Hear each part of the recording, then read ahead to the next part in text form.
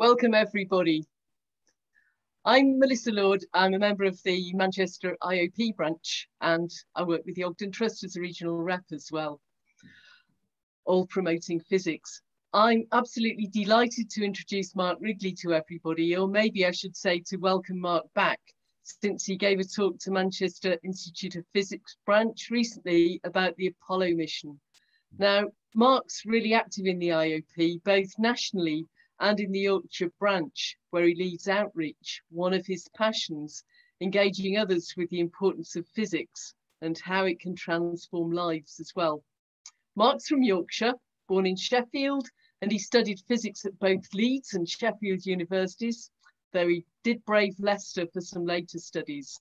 His life has taken him to live in really diverse places though, and his work has covered so many applications of physics that it's really hard to go through them all.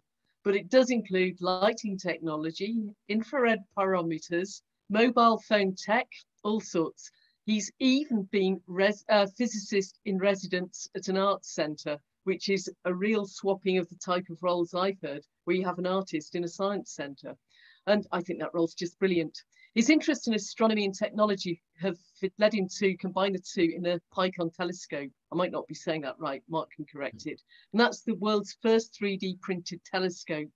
And that's going to be the focus of his talk this evening. So I'll hand over to Mark.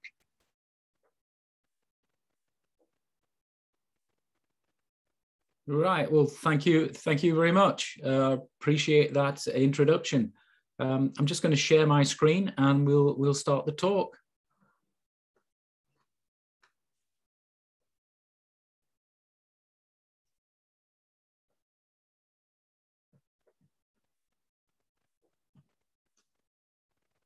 Right, we should have the screen first slide up. So thank you. Yeah, I'm I'm Mark Wrigley. I'm a, a fellow of the Institute of Physics. Um, I did realize the other day um, that, in fact, it was 50 years ago this October that I was a fresher at Leeds University uh, studying physics. Um, I'm now retired. I have what's called a side hustle, which is all about promoting physics through making things. So before I start, um, I'm just going to explain what it is I'm talking about. Um, this is the PiKon telescope. Um, what is it? Um, it is a telescope made out of 3D printed parts, um, and um, it uses a Raspberry Pi camera instead of an eyepiece. Um, and uh, there are a few non 3D printed parts. So there's bits here like a focusing rack that needs a cog. Uh, the tube itself is actually a three, um, sorry, the tube itself it, it is actually a ventilation shaft from an extractor system. Uh, so it's a five millimeter diameter tube. How does it work? Uh, well, it's very um, similar to the standard Newtonian reflecting telescope, except that um, the uh, 45 degree mirror and the eyepiece have been removed, and a Raspberry Pi camera has been placed at the focal point of the mirror with the lens removed. So before I get into too much uh, detail about that. I, I sort of want to explain a little bit why I see physics as being so important. Uh, and some of it's based on, on my life experiences. Um, but basically, I've found that having a physics degree has been the key to social mobility, uh, that it's opened doors. Um, the other thing is that we, we live in a very fast paced technological society. And it worries me at times that to be able to participate in decisions of that society, you really need to understand what's going on. Also, I find, uh, I'll, I'll use this term later, physics, physicists are great disruptors. Physicists don't particularly like the status quo. They like to think of the next thing that's going to happen. And um, in, in that respect, it's very similar to technology. Technology moves along at a very fast pace and everybody's concerned about what is the next thing that's going to happen. And then finally, I'd say physicists are great innovators. And this is because they have a view over many different subjects. And I've found in my experience that the best way to innovate is to bring people together from different disciplines. And usually innovation happens. So physicists are in a good position to create that environment. So as an example of fast moving technology, on the right hand side of this picture, there's a mobile phone, which was the very first digital mobile phone in Europe to be type approved. And I was part of the company who delivered that. Um, and this was around about 1992. So we're now at 5G, this is a 2G phone. But the disruption was that this was digital and not analog. And I think the thing I have to reflect on is that this is only 15 years after I graduated, in but in fact, many of the things in there never existed when I was doing my degree. So how did I become a physicist? Um, it was not through a love of complicated mathematics. Uh, it was actually through making stuff. Um, and I can uh, show you a few examples of the sort of things I was into. I've already told you about reel-to-reel tape recordings of the uh, Apollo missions, but um, I was into things like airfix kits, uh, amateur radio. I was a teenager at the time that there were a lot of televisions being replaced, so I used to tinker with televisions. Uh, I'm sure that anybody of my age on this call can remember the Sinclair mini radio, which had three transistors and we, we, we all made. Um, so, uh, and, and ironically, I used to get into a lot of trouble at the time um, at, at, school because I wasn't focusing on my studies. I was, I was uh, you know, dissipating my energies in, the, in this way. Uh, and lots of the stuff I learned from doing it came in very handy later in my career. So I spend a lot of time, sorry, uh, I spend a lot of time at the Institute of Physics. I, I was uh, uh, on council for a few years. And um, one of the things we often do is go get together and when we meet uh, new people, we'll, we'll sit around the table and say, how, how did you get into physics? And so to my delight, I found that many of them came from the same route that I had, that they'd all got hobbies of radio hams or similar. Uh, and I realized that there was a bit of a link between encouraging people uh, to get into physics and making things. With that in mind, uh, I um, introduced making activities into our outreach. And the idea here was that instead of uh, well, what often happens at science fairs when we do things that make the public go, wow, um, they'll stay for five minutes and clear off and forget about us. So the idea here was to engage people, sit them down for uh, uh, 20 minutes, uh, let them make something and actually take it home. Uh, and the, the activity here is uh, an activity with laser cut model hoists, which are hydraulically powered uh, but we, we've done other things as well. So I found that really worked very well in outreach. Being of a certain age, um, one of the things that really impressed me in the 1980s was the advent of affordable home computing. Um, when I was at Leeds, I learned how to program a mainframe PDP-11 uh, computer using Fortran. Uh, didn't quite use punch cards, but this was a massive thing on the top floor of the physics block. Uh, and then, so the, the whole idea of having a computer at home um, was quite a thrill. Um, and actually, both of my, my sons got into computing th this way uh, and went on to be physicists. So I'm not sure if there's a link there. I bought it because I'd moved to a new company. Um, uh, Melissa mentioned uh, the um, infrared pyrometry before. I was designing infrared pyrometers to fit into jet aircraft and monitor the temperature of turbine blades, which uh, used in military aircraft to top temperature limit the blades. And the company that I'd gone to work for had um, not got a mainframe computer, but at the time PCs were coming in. Uh, so they set up, being an old fashioned aviation company, they set up a committee and the committee examined what was on the market. And a year later, they came back and reported what they'd found and which computer to standardize. Unfortunately, a year later, computing had moved so quickly that most of the models they'd looked at were now obsolete. So I just got fed up and went out and bought a Commodore computer and did, did the work on that. And uh, there are still aircraft, I think, today flying around with my, my designs from the Commodore. So fast forward a little, um, around about um, 2012, 2013, I started to notice that there was a um, move to home 3D printing. Um, and I found that that's, that was quite exciting. Um, this printer that I've got a picture of is actually the one we used on the project. It's called a Mendel 90, and it's from a project called RepRap, uh, which um, makes 3D printers from 3D printed parts and uses open hardware so that anybody can make their own 3D printer uh, without having to buy anything. Um, so um, I was quite interested in this and we'll talk a little bit more. Um, the other technology that uh, was around uh, was this thing called the Raspberry Pi. And so I had sort of flashbacks of my experiences with the Commodore 64, but at a, a much higher level. So the Raspberry Pi it was very similar to the sort of computers you used to used to buy in the early 80s. It didn't have a monitor, you used your television screen. Uh, there's a couple of sockets here, USBs, where you can plug in a keyboard and mouse.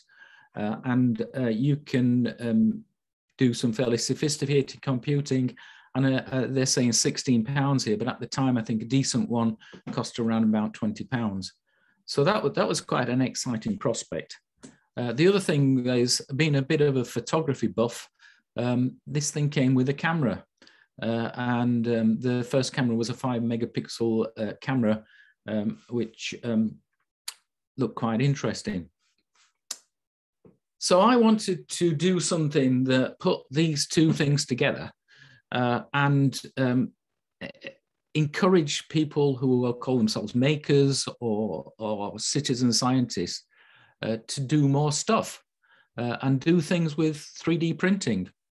Um, and being a Yorkshireman, I, I, thought it would be rather good if I could get somebody else to buy a 3D printer for me to play with. So I applied to Sheffield University, who have a thing called Festival of the Mind. And Festival of the Mind is run every two years. Um, apart from lots of other events, they have uh, what they call a Spiegel tent, which is like a big top, which is put outside John Lewis in Sheffield, where people do talks. And um, it's very often poetry or dance or music. And I wanted to get some science in there. So I applied to do this thing, which was the PiKon.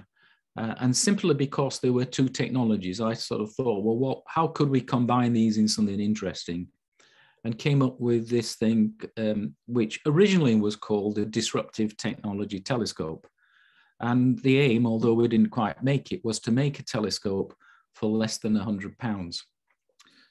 I did get some uh, pushback from some of my friends, uh, particularly um, uh, somebody came up to me and said, why on earth are you encouraging kids to be disruptive?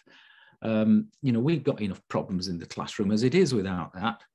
And so I had to sort of explain what, what's meant by disruptive technology. So the best example I can give is perhaps the, the valve and the transistor. Disruptive technology is when a technology comes along and completely displaces a existing market. So a good example, late 50s, early 60s, we saw valves disappearing rapidly from valve radios and similar to be replaced by transistors. And of course, we all know where that led to eventually. But it's that idea of something that comes along and changes everything. And I realized now at the end of my career that it's not an unusual thing in technology. In fact, what you know, I worked in mobile phones. When we started, we were talking about people talking to each other on the phone. Now we've got a device that is a data device, which virtually all, all most of the conversations are by data rather than voice. So things change and change very rapidly. So here's here's the bits uh, of a PiKon telescope that are 3D printed. Um, this is the, the, the production design that we have now. So I'm going to use this as a, a segue into talking about how, what you have to do to create something on a 3D printer. And if we're talking about doing it from scratch, the very first thing that you've got to do is to design something. And you design that in computer aided design software. and you would end up with a file that is called an STL file. And an STL file just contains all the information about the physical aspects of whatever it is you've designed. It doesn't contain any information to tell a 3D printer how to print it. So the 3D printer requires a set of instructions of how to go about printing whatever it is that you've designed. And that's called slicing. And so it's another soft piece of software where you will load in an STL file and you'll come away with something called a G code, which is a set of instructions specific to your 3D printer that tells the printer what to do. And then of course you print it. And at the end of the process, you end up with a physical object. So to start that, uh, we go down this route of designing something. And back uh, seven years ago, when we started this project, uh, the obvious thing to use was something called FreeCAD. And free um, computer-aided design packages can actually be quite expensive now, expensive licenses. But FreeCAD is something that is free to download from the internet and is maintained by enthusiasts who keep adding to it. Um, quite frankly, I found it quite intimidating to start with. Um, there's a lot to it, and particularly because people do keep adding stuff to it, it was quite difficult. Um, the way that I found to do it was to get online and go and look at some YouTube videos. And there are lots and lots of YouTube videos that tell you how to get started. So that's what we did. So more recently, uh, there's another uh, free uh, computer-aided design package, and it's called Tinkercad. Um, this is slightly different from, uh, from FreeCAD in that uh, you don't download software, you uh, go to a website and you manipulate things on the website and you have an account there.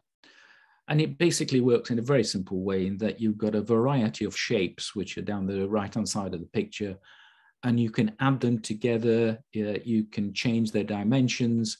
Uh, you can also subtract them. So for example, if you want to put a hole in something, you would take a cylinder and subtract it from whatever it is you're working on.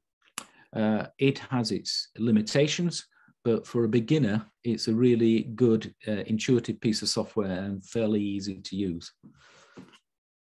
So let's get on to how does the 3D printer work?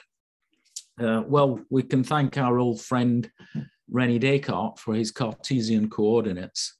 Um, most 3D printers have a nozzle which um, pumps out melted plastic and moves it in an X, Y, and Z direction. So my analogy for, for how, um, how this works, I often talk about icing a cake. Um, if you want to create a cube in icing, the best way to do it would be to ice a square and then ice another square on top of it and another and another until you get a cube. And that's exactly what happens on a 3D printer. So what we have here is a nozzle which heats plastic so this is a drum of plastic filament that's three millimeters in diameter. It's with a stepper motor, it's forced through a nozzle and out of the end of your icing bag, basically. And then you can control where it's putting, um, putting plastic down in the X and Y. So the Y is this way, and underneath here, there's a stepper motor which moves this platform backwards and forwards. Above on this gantry, there's a stepper motor on the side, which moves the uh, nozzle to the left and right. And so you start printing, it goes down to the surface, and these two stepper motors here turn a threaded rod, which makes it move up one tenth of a millimeter, usually, every time you print a layer. And you wait, and it slowly prints a layer. And it does take a long time. So um, as I mentioned, the RepRap project, which was uh, something which was done in the previous Festival of the Mind, um, uh, my contact at Sheffield University uh, was involved in that project and recommended that we get uh, a kit of parts that somebody else had printed uh, to construct a 3D printer. And the cost of this, to put a price tag on for things in 2014, was 600 pounds. And you can see here all these white bits are 3D printed. Um, there's various other bits. Somewhere there's a power supply. There's a power supply, heated bed. uh, some, um, uh, some sheets which form the frame of the printer, uh, lots of nuts, bolts and screws, and a very, very good instruction manual how to put it all together.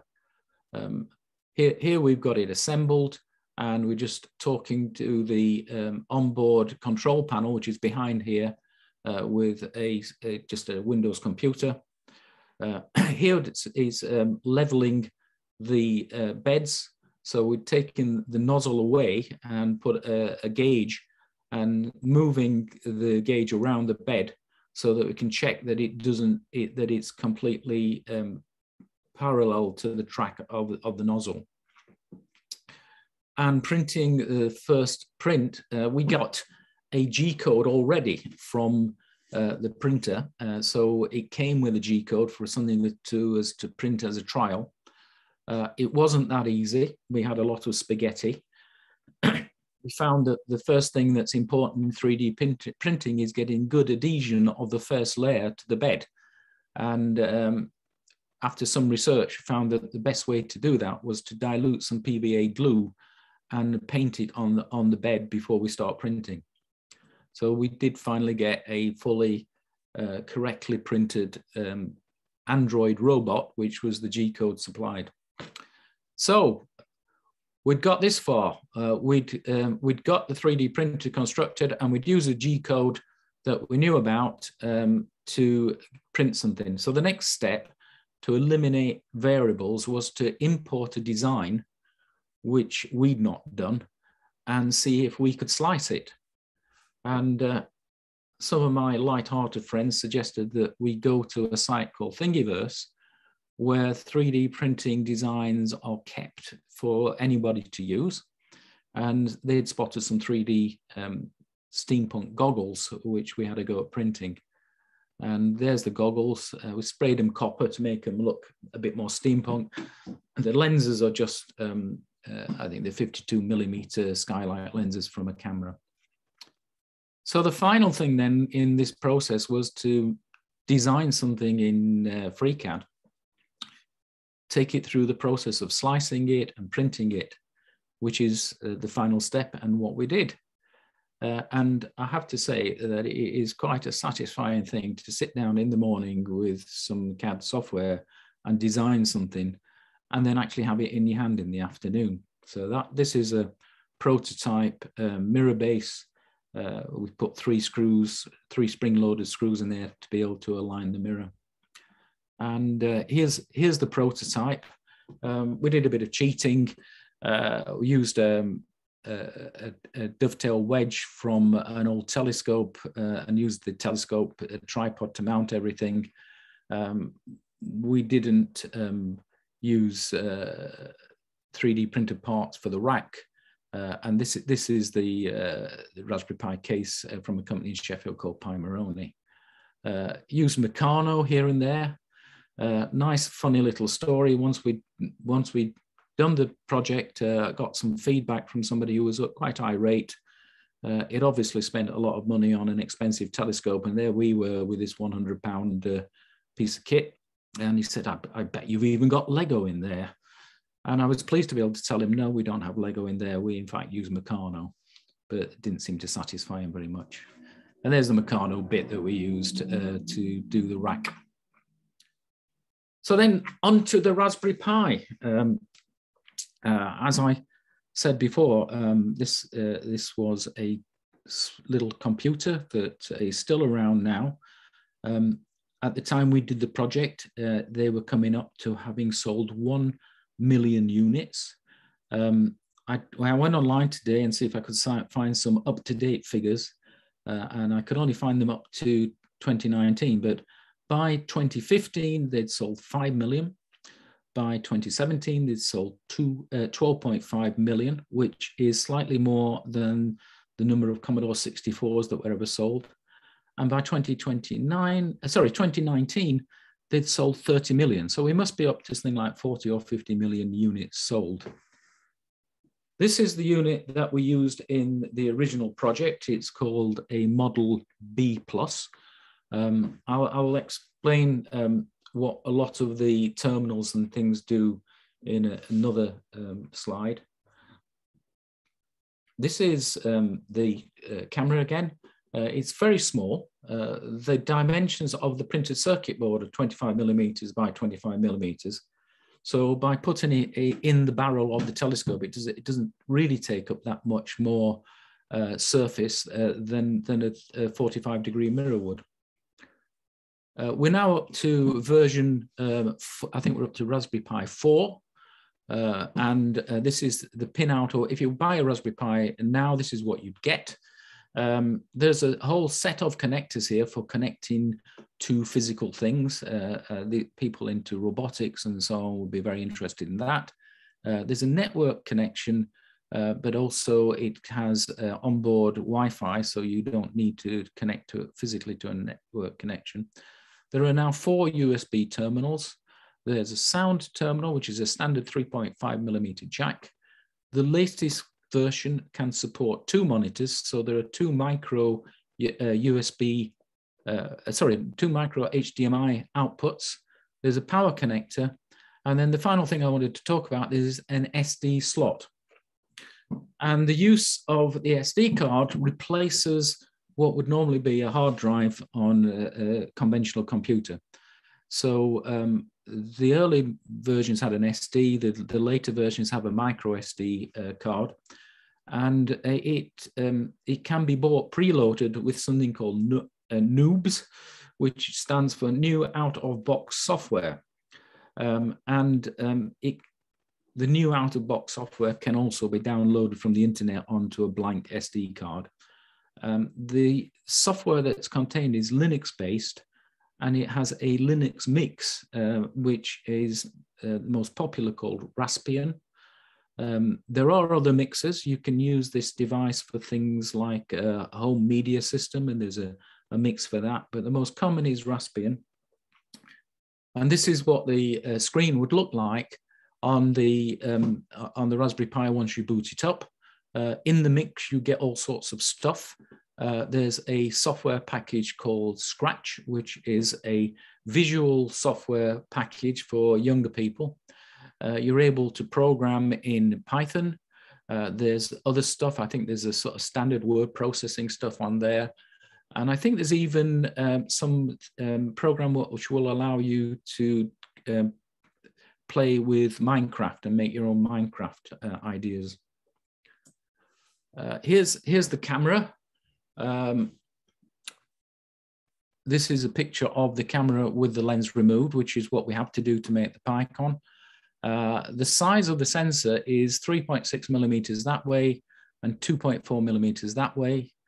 Uh, it is slightly tricky to get the lens out because uh, it's set in the factory with uh, some Loctite uh, so that it's at the perfect focus for use. So you have to give it a little bit of a twist to get it undone. But once it's clicked, it simply unscrews. What can you expect from the results? Uh, uh, how what can you see with the PiKon? Um, well, uh, we've got the sensor, which is um, 3.6 by 2.4 at uh, in the prototype, 800 millimeters away from the lens. Uh, so I had to go back to some of my, uh, in fact, I had to go online to remember some of my trigonometry. but that gives you an arctan of 3.6 over 800 which is about a quarter of a degree. And so uh, if you look at the moon, uh, then it subtends an angle of about half a degree at your eye. So you'd expect uh, when you're using the PiKon to see about half the moon. And that's what we got. Uh, these are the first shots uh, from the PiKon. Um, by this time in the project, uh, Sheffield University had put a public relations company onto um, the case uh, because they thought it was a project that they'd like to publicize a little. Um, we'd just gone through the whole process of making this telescope and getting it to work, and we were quite happy to point it at some trees across the street to make sure it did. However, the public relations company wanted us to get some astronomical images. Um, and um, we had a series of cloudy nights, and when it wasn't cloudy, the moon was in the wrong position. But eventually, um, I got the telescope with me when I was visiting friends in Lee-on-Solent, um, so I took my uh, transit van, which had an inverter in the back, and took it to a car park uh, near near the sea. and took some shots across the Isle of Wight. Um, so I'm not sure. I, I, was quite surprised I didn't get stopped by the police because there I'd got this transit van with a, a, monitor in the back and something that looked like a bazooka pointing out over the Solent, but uh, nobody actually stopped me. And the result of all this, uh, there's another shot. Um, so we did the presentation. Um, it was the first one was on September the 19th. I know that because it was my birthday. Uh, I was actually in um, a, a, Pizza Hut celebrating after the first talk. Um, and I got a message on my phone saying, have you seen the BBC website? And um, what happened was that we got into the mainstream press. So first of all, on the South Yorkshire BBC website, but then we went on to get mentions on the Metro newspaper and Mail Online. Um, and usual sort of press things, uh, you know, first 3D printer ever, etc. Um, but um, we'd set up a little website um, on uh, WordPress uh, to tell people what we were doing. And that website went ballistic. Uh, we'd been getting something like six hits a week, and suddenly we were getting thousands of hits. And uh, some some of my friends said, you know, you should you should crowdfund this. Um, it would be a good way of getting it into the hands of more people. Uh, and so that's what we did. Uh, we worked with a company called Indiegogo. Now, the trick about crowdfunding is you don't just go and put your stuff on a crowdfunding website and hope. Uh, it took a year to build up a following before we launched as a crowdfund.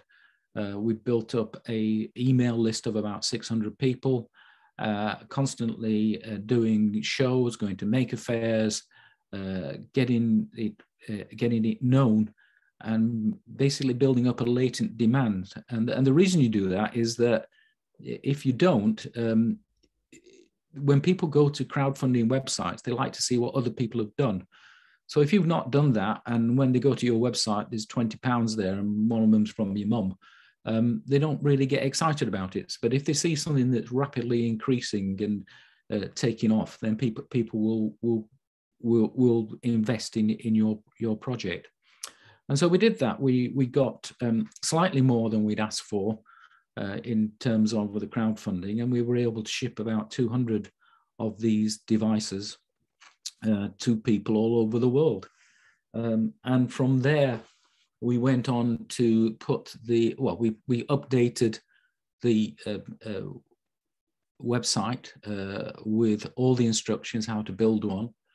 Um, and uh, we put a Shopify shop together after the crowdfunding is finished. So now you can go to the Shopify shop and you can buy bits. Um, uh, you can just buy the mirror if you want it. You can buy the kit of parts, not including 3D printed bits, or you, you can buy the kit with the 3D printed bits. Um, and the point of all this is that we want to keep this open source. So we don't want necessarily to sort of capture a market and say you must come to us for the bits. So anybody can do this, uh, and um, they can download all the files either from the PiKon website or some of these other sites. I already mentioned Thingiverse. So on Thingiverse, you can find the PiKon with all the instructions, how to build it, and all the files that you need to 3D print. There's another site that people will probably know called Instructables, which is not solely due uh, solely down to 3D printing. We got some fantastic support from the Make uh, community. Uh, this is an art two-page spread that we got in Makezine, which is an American maker magazine. Uh, and they even went on to make a 30-minute video showing how to put the PiKon together and how to build it, uh, with some very useful ideas as well. Uh, two years ago, I'd actually had the, the PiKon at the National uh, Science and Media Museum in Bradford, and they asked if I would build one for them and do a, a time lapse. So this is the one minute PiKon, uh, and I'll, I'll talk a few things through. What we've got here, these are all the nuts and bolts and springs that go into making an adjustable mirror mount. Um, there's a Raspberry Pi case, which we get from Pimoroni, but it fits onto this mount. Uh, various nuts, bolts, and screws. There are bits here for making the rack, wherever possible, if, if we're going to use bits that are a bit unusual, we'll use 3D printer bits because they're readily available. So the cog is now lo no longer Meccano, it's, it's a 3D printer cog. And the rack actually has a bit of 3D printer belt glued to it uh, to, to make the teeth. So I'll set it going if I can. First of all, we stick the mirror to the mirror mount and uh, just trim it but this is just double-sided tape and then uh, adjust it with three screws uh, moving faster than I can talk, putting the, uh, putting the rack together, uh, now putting the spider together with the cog that drives the rack and then threading that through. And there we go. And then we just drill a hole to secure the Raspberry Pi to the side of the spider.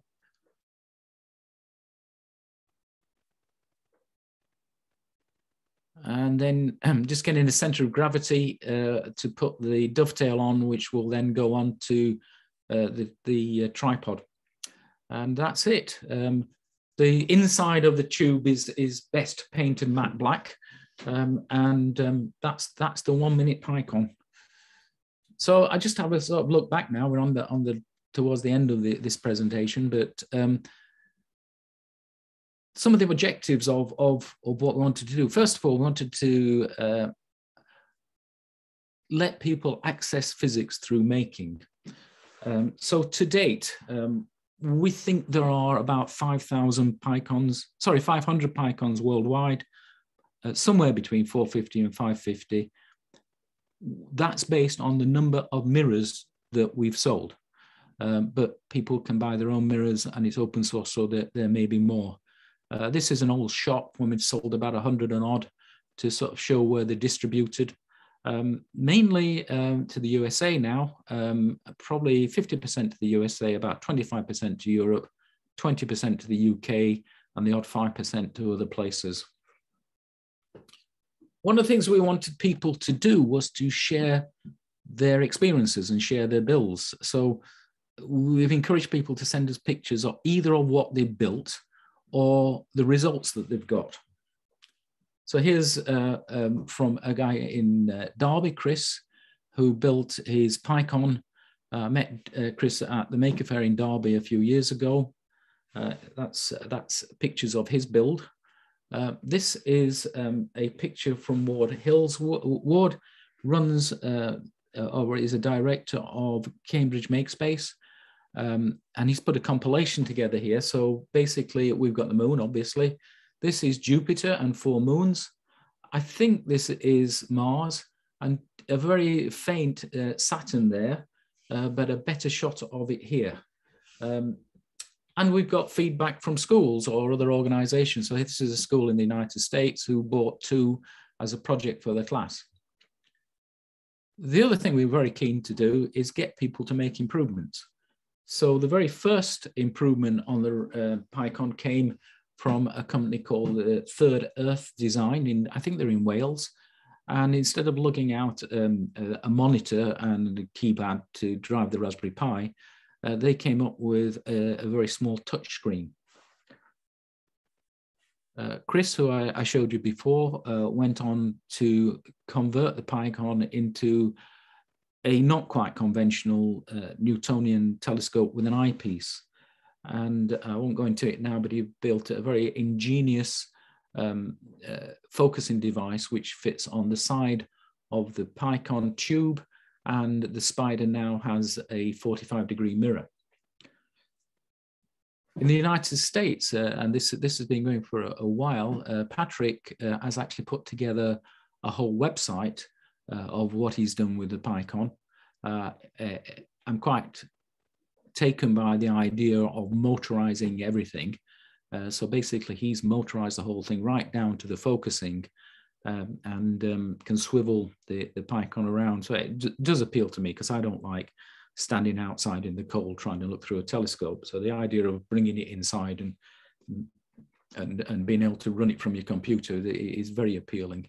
Um, so uh, more, more of, uh, there's a link to uh, Patrick's uh, website on the PiKon website.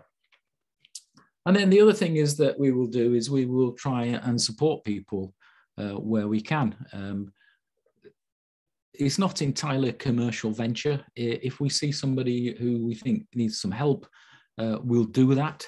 Um, the, during lockdown, some high school graduate, high school students from Argentina got in touch and said that they got a plan and they wanted to take astronomy to underprivileged in their community. And I quite like the idea. Um, and um, I got together with Sky's the Limit, who supply my mirrors, and Alan there and myself shipped them enough bits to make 10 telescopes. Uh, we did a little uh, GoFundMe to pay for some of the shipping costs, and they've given us some feedback. And again, they've they've done some work to make it into a conventional telescope rather rather than a Raspberry Pi driven one. And just for fun, um, I was contacted by somebody who uh, had got a toy which was um, passed down through about two or three generations or uh, and had broken and uh, we just put them a new wheel together which they'd lost and the, uh, one obviously very happy little girl there and the young gentleman on the right uh, started talking to me i was at a charity event called soup and this young man came up and he seemed to know everything about the PiKon. I was quite surprised, but he didn't have one. So we conspired in secret with his parents and he got one for Christmas. Come lockdown, um, I'm a member of the Otley Makerspace. So PiKon, PiKon 3D printers were moved over to printing 3D visors, the 3D printed visors uh, for PPE. And so for the first month or so of the um, pandemic, uh, we were supplying visors as a group uh, from the Otley Makerspace uh, to contacts that we had in, in care homes uh, and even um, friends. I've got a friend who was a, a, intensive care nurse and he was telling me some terrible stories about having to reuse equipment. Um, we, we've backed away from doing this now because um, British Standards Institute have started wanting to monitor everything you do or give you certificates to do it. And we simply can't afford that. But we felt we were able to do our part during the pandemic. So the, um, right, so what's, um, the other thing we did was uh, we were getting so many people with stories and things to do, uh, uh feedback from, from the PiKon that I decided to set up uh, a group on Facebook called uh, PiKon Cohort. And you can go and find this on Facebook. You can join it if you want. You don't have to build a PiKon, but it's a place where people can share their results and share their images and talk to each other. So a bit of summary, what's, what's happened since we did all this um, seven years ago, what's happened to the Raspberry Pi? Uh, its claim to fame was that it was uh, it was taken up with uh, Tim Peake on the on his mission on the International Space Station. There were two units actually. This is a replica of one of them, and he uh, asked for suggestions from the public of what experiments could be done with it. So that's one thing. 3D printing is also on the International Space uh, Station. Um, the uh, NASA were able to uh, send um, files to the space station, which were for tools, which were specialist tools, which were, were then able to print out on their 3D printer in space. And talking about NASA, uh, and actually many other organizations now, so in, in terms of education, um, most major organizations supply 3D printed files free of charge for you to print things. Some of the museums supply files of their artifacts. Uh, both NASA and ESA provide files of things as diverse as spacecraft to models of craters. Uh, I've got a I've got a 3D model of the Gale crater, uh, which is exaggerated by factor 10 in the Z direction. Um, things that interest me at the moment, um, I'm seeing a lot of people getting into 3D printed cameras. These are generally film cameras, and they tend to use the lens from an old or cannibalize a lens from an old uh, an old camera and then make a new camera around it with 3D printed parts. 3D printers have come down in price considerably.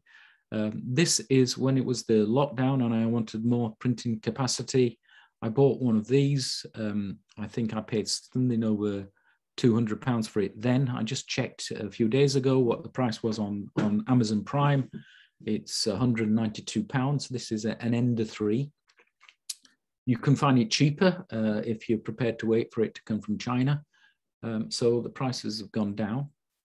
Um, the Raspberry Pi has gone through many variations since we did the project. So uh, we started off with a Raspberry Pi B, uh, which came out in 2014. It has progressively got better. Uh, it is now up to a Raspberry Pi 4 uh, with up to 8 gig of, of RAM. Uh, and there is a version of the Raspberry Pi 4 called the Raspberry Pi 400, which has its own keyboard and case. So we're back basically to something that looks very like the Sinclair C5, uh, Sinclair uh, ZX Spectrum or the uh, Commodore 64. One interesting development uh, that came about was the Raspberry Pi Zero. So that was released in 2015 and a Wi-Fi version of it released in 2017.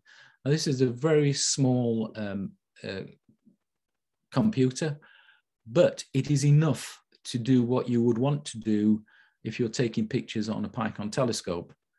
Now, the thing about this is it does have a camera. Uh, I've not tried it yet. I think we've got somebody on PiKon cohort who has, but it costs about four pounds. And in fact, when I when I bought one of these, I spent more money on adapters because it uses micro uh, USB adapters. Uh, I spent more money on adapters than I did on the computer itself. There's also a new uh, camera. Uh, this is uh, a 12 mega yes, it's a 12 megapixel camera based on a Sony chip. It's got a larger uh, surface area. It comes without a lens. So you, you can buy lenses to screw to it, or you can just use it as it is in the PiKon. We've made, you can't see it very well here, but we've made an adapter so that it can be positioned inside the PiKon. Uh, some of my astronomy friends are uh, quite like this, not because it gives any more resolution, but because the instruction set that you can use from the Raspberry Pi to the camera means that you can do longer time exposures. So in astronomy, you're always looking to do uh, work with limited light and compensate by doing longer exposures. Uh, so that's, that's the benefit of using that. On the to-do list, uh, there's now a Raspberry Pi 7-inch touchscreen. So on my to-do list, uh, I'm, I'm um, looking at building this onto the, the, tube of the Raspberry Pi and possibly running it from a rechargeable um, USB battery uh, and uh, being able to be much more mobile with the Raspberry Pi. And so that's about where we are with the Raspberry Pi. Um, I'm always doing other things. Um, so one of one of the things on my to-do list, uh, I'm very much into photography. So I'm looking at how to copy negatives using uh, cameras now. This one is a 24 megapixel camera and uh, there's a move uh, generally for people to uh, photograph negatives rather than put them through scanners. And uh, there's a lot of software around to, to convert the negatives into images. So I'm looking at making a, a 3D printed light box and 3D uh, printed negative holders for that. Something that inspired me a few years ago was this lady called Vera Lutter, who uh, does pinhole photography. And this is an image of the uh, radio telescope at the Max Planck Institute, which she took with a pinhole camera made out of a shipping container. Now, and I don't quite want to go that big, but I'm looking at doing a project where we can do a 3D printed um, pinhole camera, which is the maximum size that we can get on the printer bed, which would be around about um, seven inches in old money.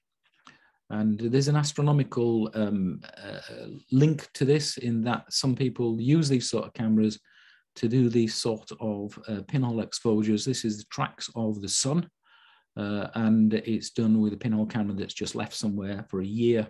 And then, in fact, the, the latent image is so strong that you can see it without developing it. Uh, but it will be a nice thing to, to think about for astronomy because a, a 3D printed camera is very low cost and it doesn't really matter. You could leave it anywhere. So finally, uh, I'd like to finish up really with um, one of the things which came out of this whole project, which, which fascinated me, And um, my roles uh, in, in my career have been very much commercial, about marketing and project management. Uh, and so uh, what came across in, in this whole uh, thing was the support that you can get from platforms if you do want to have a side hustle or a small business. Uh, and um, uh, that's been a very interesting journey. So thank you very much. Uh, I'm going to leave you here. If you want to find out more, um, I, I, there's my email address. Uh, there's a PiKon website called PiKonic. Everything that I do is on the um, uh, Electric Works website. And finally, if you want to follow my day-to-day activities as a retired physicist, with diverse things as much as volunteering for the National Trust to converting camper vans, uh, my Instagram is called Replacement Hipster. Thank you very much. Is it time for a few questions, Mark? Yes, indeed. I'm just trying to get rid of stop sharing. There we go. It should have stopped by now. That was excellent. So fascinating. I've got a few questions. Uh, just looking at one from Alex Collins. He says the hardest part is finding a suitable tripod and he can't find any 3D printable ones. Would you consider a tripod mount for the PiKon as a project? Yeah, oh, we one of well, there's there's lots of things to do. I, um, one of the things I've looked at is making a Dobson uh, mount for the PiKon. Um, so um, and doing it uh, using uh, basically plywood and a few 3D printed parts. So a Dobson uh, really is a bit like a, a, telescope on a lazy Susan, Susan that spins round and then tilts up and down. Um, so that that's uh, something that we've looked at. Um, I've not tried it, and I, actually at the moment I don't have time to try it, but um, that that would be a way of doing it. The other thing, I mean, to be quite honest, the other thing, this is an exercise in uh, in making, and uh, I just cheat and I bought uh, cheap um, telescopes with um, uh, usually usually with with uh, astronomical mount, um, but um, and we've thrown the telescope away. Um, so that's one way to do it. Um, but uh, no, we, the only the only thing we'd looked at was the Dobson mount. And th thanks. Alex also says he was part of the initial PiKon funding round. He has his PiKon and several images of the moon, but aligning the mirror was far from easy. Do you have any advice for people about that? Yeah, if you um, right, there's, there's, a simple way of doing it, which is to just uh, get um, something and um, like a, a, a, drill bit uh, and um, put it between the mirror mount and the back mount, so you get the sort of right, roughly uh, right uh, positions on all three screws. Uh, but if you go to the website and scroll down a bit, there's um, a 3D printed laser collimator um, that you can use. So you can buy a little laser uh, which would shoot um, a laser beam down the center of the tube and bounce it back off the mirror. And um, it's the details of that are on the website. Um, it's it's a standard thing for collimating uh, telescopes anyway, and I think the actual laser device is about twenty pounds. Thanks. Uh, another one from Jay Smith. He said, did you prototype, for instance, in wood before you went into CAD? No. Just to get the feel of the 3D, I suppose. No. Well, it, it, was quite funny. Um, Sheffield University are lovely, but they forgot to tell us that we'd got the grant until about May. Um, so we were in quite a panic um, to actually get something done. Um, so we just went straight into uh, straight into 3D printing, basically but it, when I do stuff now, it's quite it's quite easy because if it's wrong, uh, you just go back and adjust it. Um, so I, what was I doing that didn't fit? I was I was making something it didn't fit, uh, so I just went back into Tinkercad and um, and uh, adjusted it and printed it again. Uh, so that that cycle's probably easier uh, than than making wooden models. Thanks. Chris Anderson says, have you had anything to do with Design Spark, which is free from RS components? No, um, I haven't. Design Spark and 3D printing, no. Okay. No, I'll, I'll go and check that one out. Right. Um, any plans to find larger mirrors? yes, I well, if anybody wants to have a go and make uh, make their own uh, version, uh, I do have uh, an old telescope that I bought online about four years ago, which has an eight-inch mirror in it, um, and um, it's just a matter. The, the problem is that it it gets inhibitedly expensive uh, once you get to these larger mirrors. So we we can get the mirrors uh, from China for the telescope at the moment, which are four and a half inch or 112 millimeters, I think, uh, quite at a quite reasonable price. But once you get up to eight inches, you certainly have to have a parabolic mirror, and it all gets very expensive. Um, so um, the only way I can see to do it is uh, very often astronomy clubs um, want to sell a telescope because they moved on to the next thing. Uh, the one I bought um, had uh, no nothing but the basic telescope, no no no eyepieces or anything like that. But um, we've not got there uh, doing it. But I, am always soliciting for for people if they want to have a go at designing. i am very happy to help them or, or or give them a mirror if they want to have a go. And can I ask a final question from myself? Uh, your start made me really reminisce about being a child, then going to university to study physics. And when I got to university, the great shock of finding there was this language I didn't speak called electronics, fine with everything else. But it was just like somewhere else. And the boys around me, they spoke it. Yeah. I had to, it was a battle to get through it. And then looking at this and thinking about, well, the things I do at the moment with schools and trying to increase the uptake of physics, make it more diverse, involve lots of people, mm. and thinking about is there a way that this making this telescope and the thirst for knowledge about astronomy, particularly among young women, could help, or does it help if you found it anywhere, helping draw young women into physics and actually this mm. technology of becoming a maker? Because there's plenty of young people out there. I think whole diversity of people want to make mm. stuff, mm. but it's this electronics. The, there's not enough women in IT. Could this be a vehicle to encourage that too? It's an interesting question. Um, so I, I, I have some links to the Royal Astronomical Society, um, and I have to admit that my partner works for them. So we have many discussions about this. Um, and um, in terms of us, uh, uh, in the United States, there are many more women astronomers. The you know the ratio is better than mm. the UK, mm. and I think that's. Uh, it, uh, I don't want to get into the sort of stereotyping and things, but I, I think that's it because in the United States, the uh, astronomy is taught more uh, like a geography. Um, in in Britain, all the people I know in astronomy, in fact, the, the, the you know, it's all down to gravitational waves and people wanting to prove physics. Um, so I think that helps. Um, I don't know. I it's oh gosh, a deep question because you break all the time. You break you breaking down these um, stereotypes that people mm. are expect, expected to behave as, and you know, I I I'm of a generation where the girls did domestic science and the boys did woodwork um, it, it, it's breaking. It, it takes a long time to break that down. Yeah, yeah. Uh, I just wonder if this could be a vehicle to help. Yeah, I think making does. Uh, what? Yeah.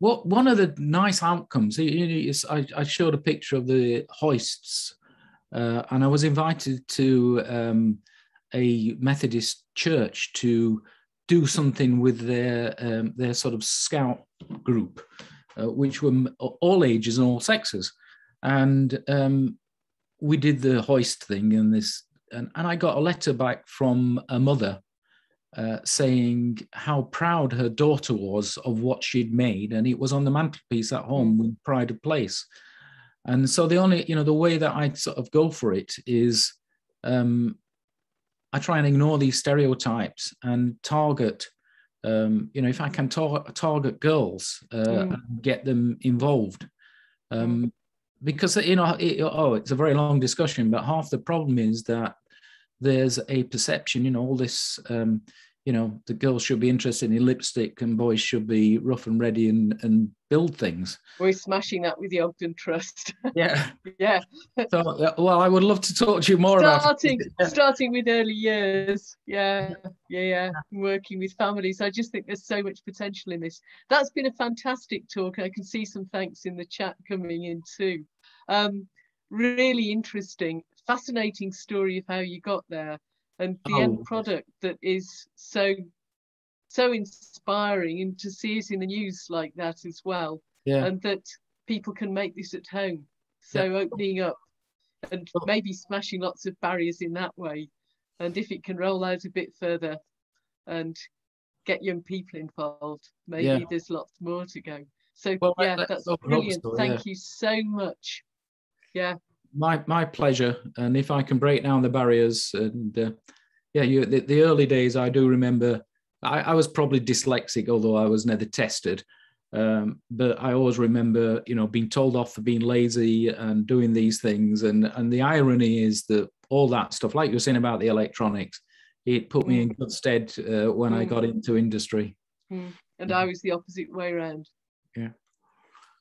Well, we'll break the bar- we'll break the barriers down. There's yeah, get physics to physics across in lots of different languages to lots of people. Thank you so much, and thanks audience for being here, and thank you for all the questions. Yes, thank thanks, you very Mark. much. That's thanks fantastic. a lot. Thank you.